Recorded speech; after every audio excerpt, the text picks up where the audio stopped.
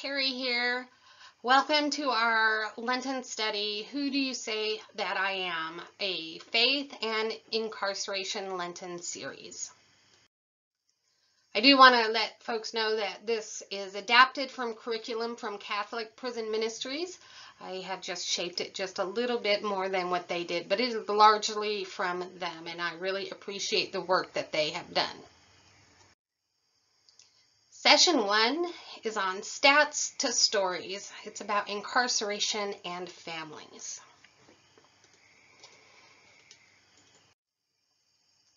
Let's pray. Good and loving God, our source of love and light, thank you for bringing us together today in a spirit of generosity. May we honor one another by keeping an open mind. May we voice our truth and listen with an open heart. May we discern your will to unite in fruitful outcome. We ask for your wisdom and grace to use our talents for the betterment of others. With gratitude, we offer this prayer in your name. Amen. So I just want to welcome everyone to this uh, virtual reality space. Um, I'm Terry Stewart. I am the Director of Chaplains at King County, and I am the Religious Coordinator at Echo Glen.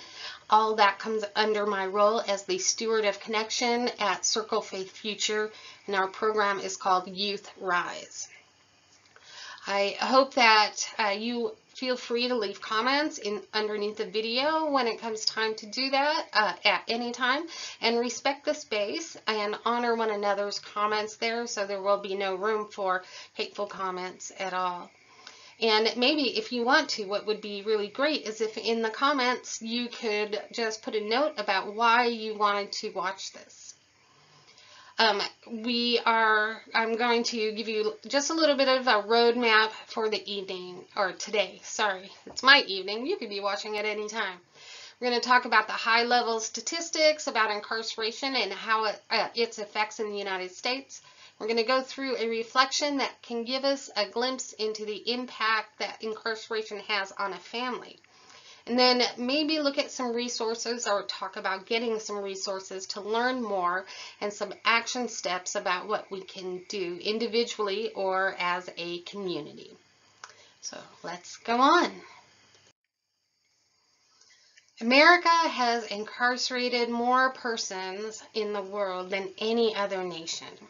Over the past several decades, our country has built the largest prison population in the world. The U.S. has 4% of the world's population, but 22% of the world's incarcerated population. We lock up a greater proportion of our citizens than repressive regimes like Pakistan, Russia, China, or Cuba. Who are incarcerated? People of color who face much greater rates of poverty are dramatically overrepresented in the nation's prisons and jails. These racial disparities are particularly stark for black Americans who make up 40% of the incarcerated population, despite being only 13% of the U.S. residents. The same is true for women, whose incarceration rates have for decades risen faster than men, and who are often behind bars because of financial obstacles such as an inability to pay a bill.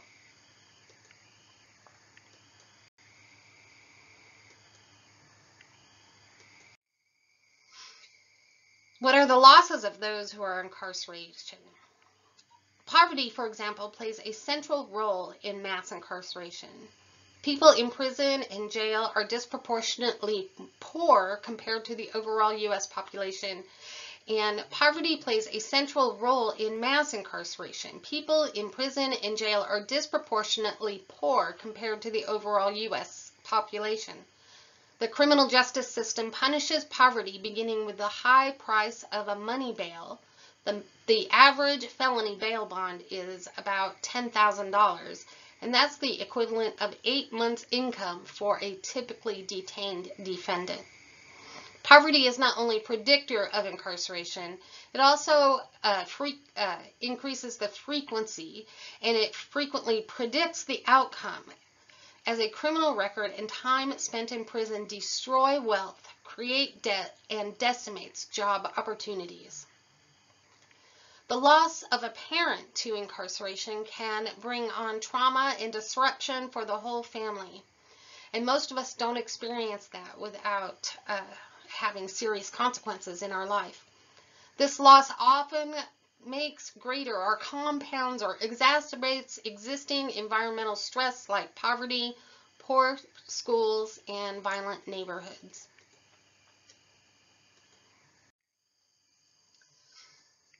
An estimated 684,500 state and federal prisoners were parents of at least one minor child in 2016.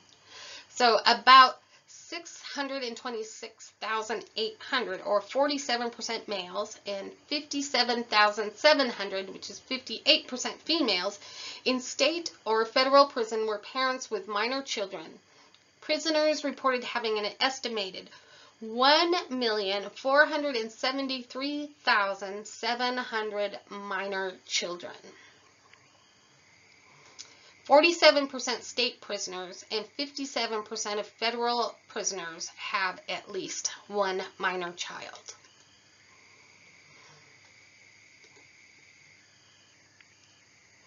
One point five million children under the age of 17 have a parent in prison.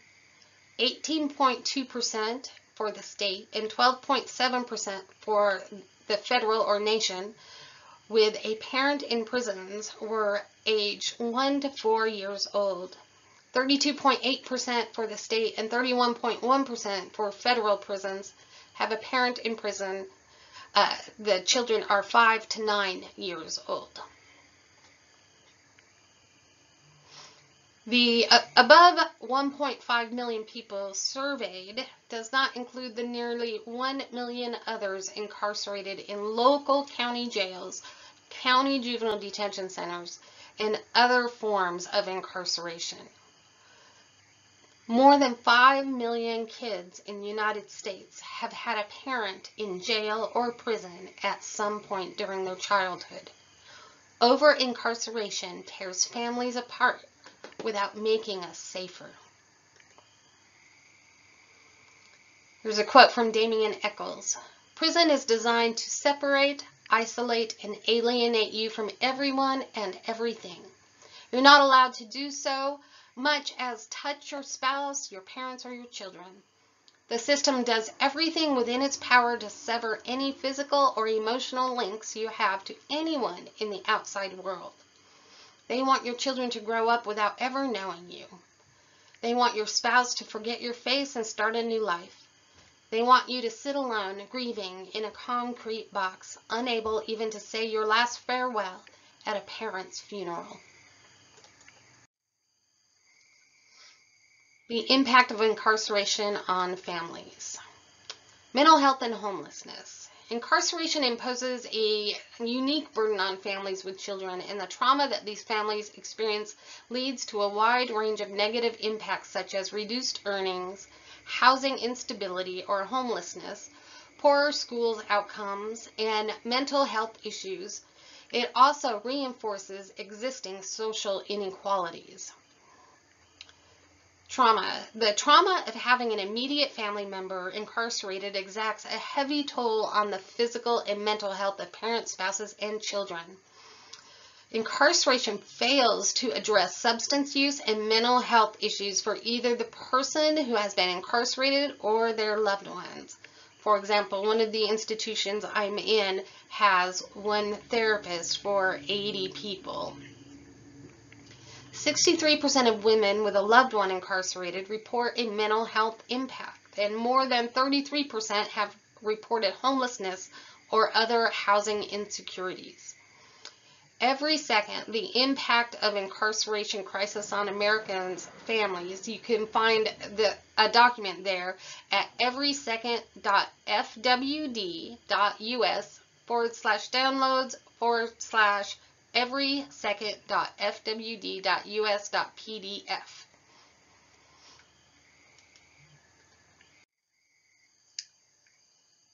Reentry and recidivism.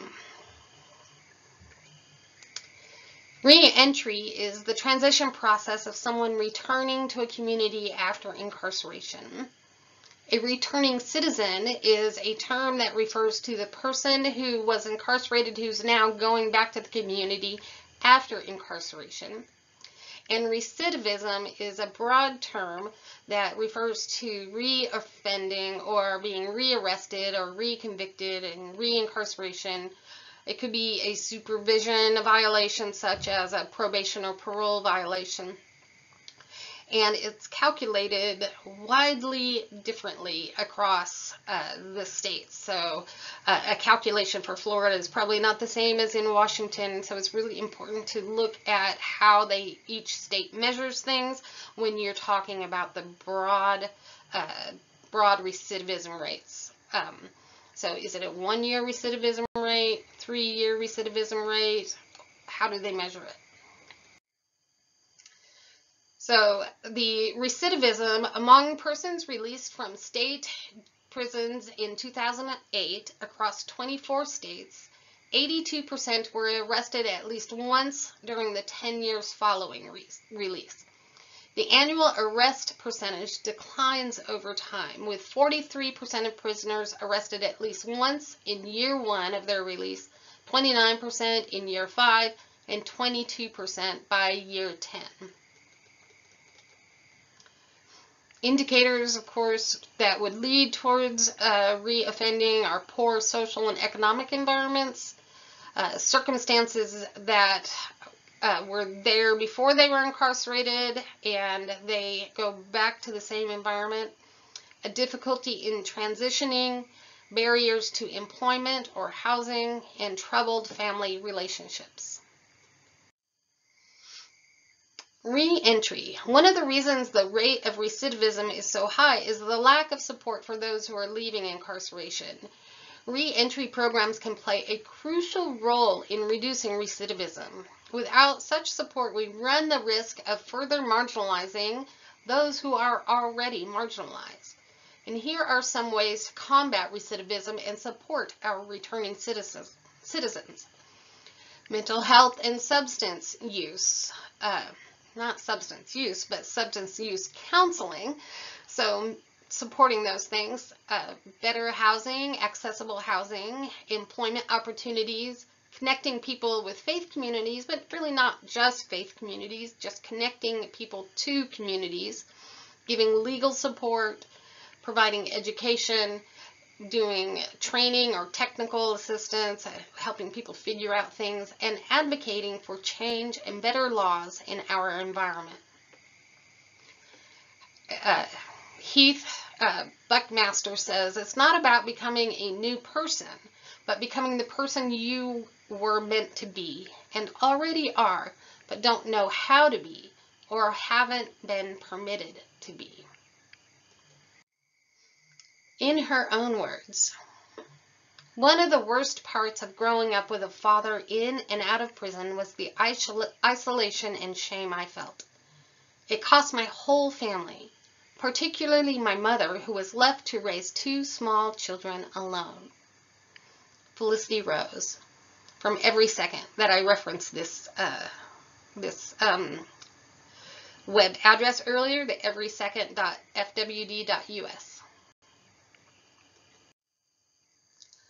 So we're going to have a tough conversation as much as we can. You can post in the comments or I have provided a link to a form uh, that you can put some answers to some questions in that uh, will take you into a deeper uh, reflection. You can use your camera to scan the QR code and that'll take you also straight to the form. So this is about Jack, Cheryl, and their family. Jack is 24 years old. He and his wife Cheryl, who is also 24, have been together since high school. They have two children. BJ is five and Kyla is two. Jack is the main source of income for the family. Cheryl has been a stay-at-home mom since BJ came along. Jack was arrested with a couple of older college friends for operating a meth lab. He is sentenced to 15 years in state prison. The prison is located 105 miles away from his home. This scenario is after his arrest and after his trial, so he is convicted. Cheryl tries to explain to BJ what will happen next. So let's just think of some of the questions that BJ might ask. What would you ask if you were a tiny child? Think about that for a minute. Maybe you can leave something in the comments.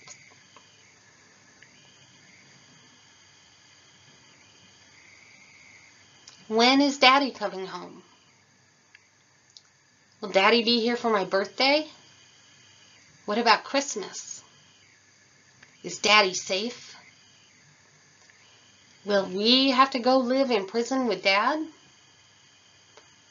When can we go and visit him? Some of BJ's friends have stopped calling him for playdates like they used to. Cheryl is looking at the prospects of no real income a single parent raising two young children.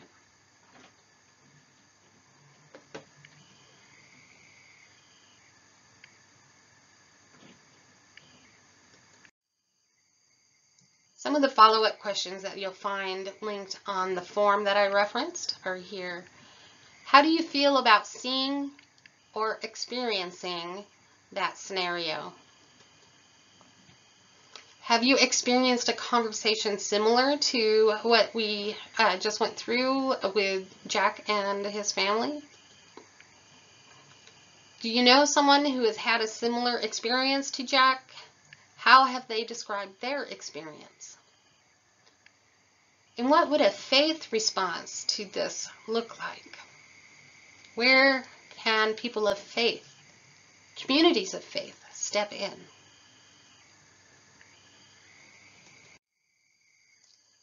So here are some resources in action that you can do. And first, I would just say pray. Uh, pray for the people in prison, pray for all the decision makers, pray for the policy makers. Your faith, if you're a person of faith, your faith tells you to pray, to take it to God. Advocate and learn. So spend some time educating yourself about policies, and step into the advocacy arena by encouraging your lawmakers to make better laws that are strongly based in evidence-based practices and are humane and lead towards restoration, not simply towards punishment. Volunteer for prison ministries uh, or on the outside. So you can volunteer directly at a prison or juvenile detention center, or you can volunteer to help families affected by incarceration or youth affected by incarceration. You can volunteer at food banks because the intersection of those who don't have food and those who go to prison is pretty strong. Keep yourself informed. Find resources of information about incarceration that you trust. The Prison Policy Initiative is a good source of information. Now that we spent some time with the facts around incarceration and reflected on the experience of those affected by the incarceration system, let's just take a few minutes to look inward and create a space to listen to God's voice. An examen just grounds our reflection and it has us examine our own self in, uh, in the context of our faith. I'm going to leave space as I read each line for you to read it also to yourself. Compassionate God, maker of us all, I confess my own share in the ills of our times. Have mercy on me.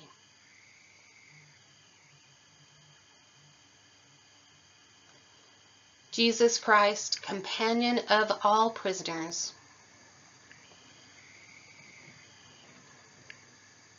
I confess my own share in the ills of our times. Have mercy on me.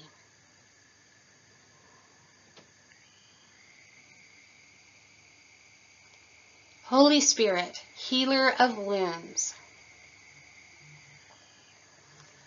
I confess my own share in the ills of our times. Have mercy on me.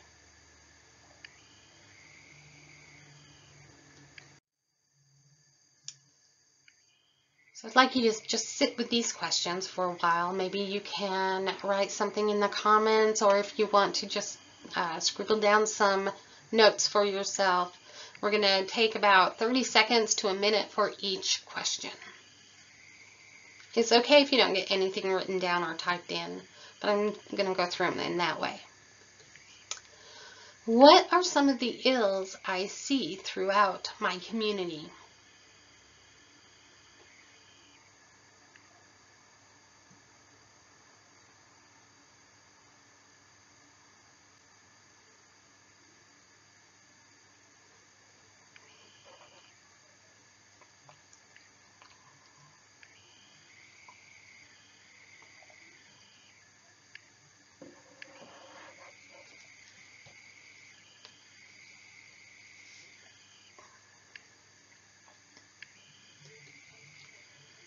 Do I know someone who has been or is incarcerated? What is my relationship to them?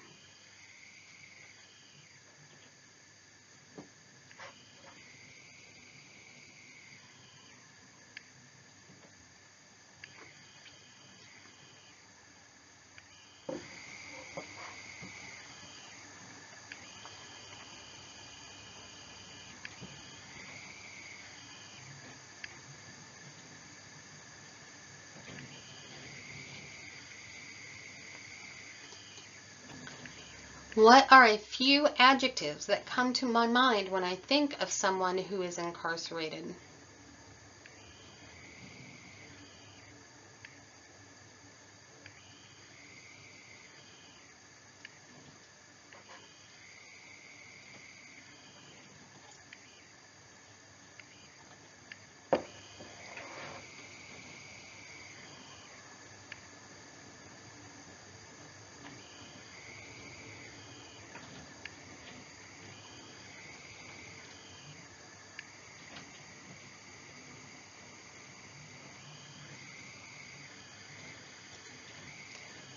What do I sense God encouraging in me during this time?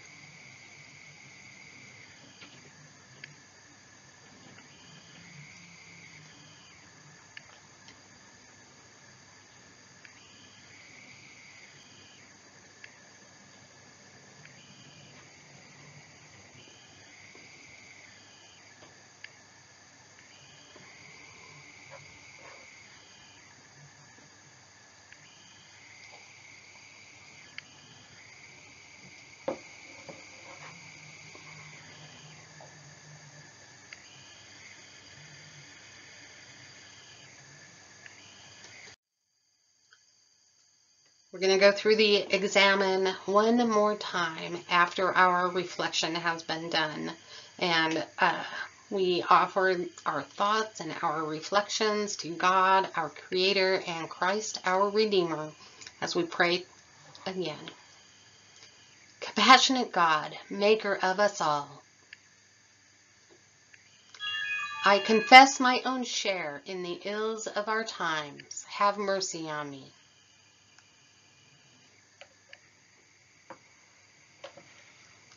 Jesus Christ, companion of all prisoners,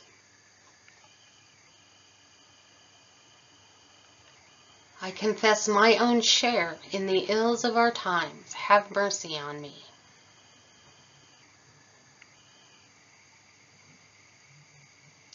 Holy Spirit, healer of wounds,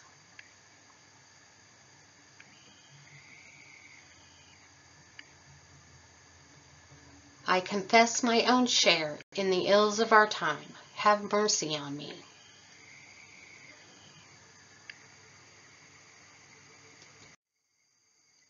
Let's pause for a moment of silence and reflect on how our fears or indifference may have contributed to the incarceration crisis in our communities and our country.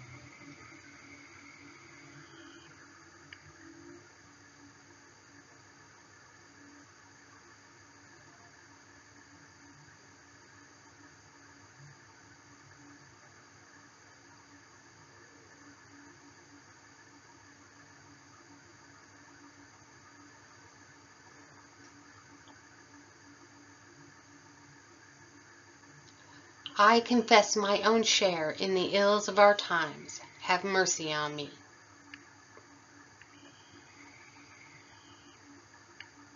Amen. Now we'll close to this prayer by Manoling Francisco.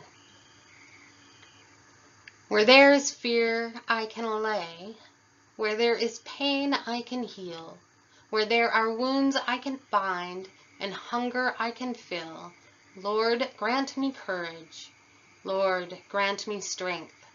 Grant me compassion that I may be your heart today. Where there is hate, I can confront. Where there are yokes, I can release. Where there are captains, I can free, and anger I can appease. Lord, grant me courage. Lord, grant me strength. Grant me compassion, that I may be your heart today.